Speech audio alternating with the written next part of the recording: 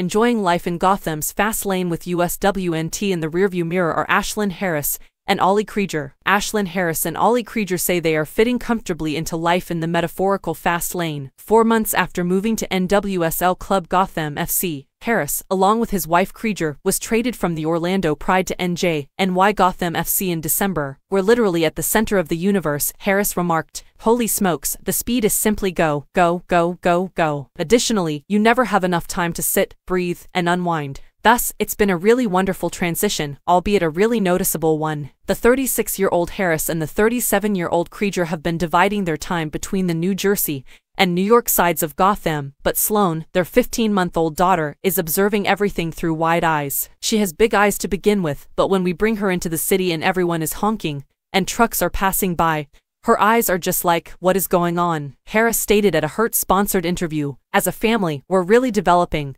Krieger continues, and we just live in such a lovely tiny town where we feel so safe. It's probably just the weather that surprises us. Harris and Krieger have found that their transfer to Gotham FC has gone more smoothly, even though it has taken them a minute to get used to big city living. It's clear that we were playing better football, and we really had such amazing teammates. Additionally, they play football really well, Krieger remarked. We work in an environment that keeps challenging us, and as a result, we improve every day. Thus, it has been a lot of fun.